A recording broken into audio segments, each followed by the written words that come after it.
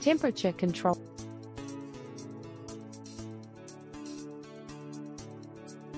Welcome back.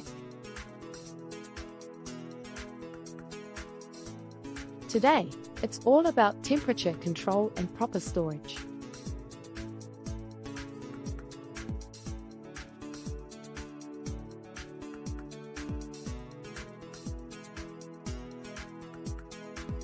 Ensure your fridge is set to the right temperature, below 40 degrees Fahrenheit, 4 degrees Celsius, to keep food fresh and safe.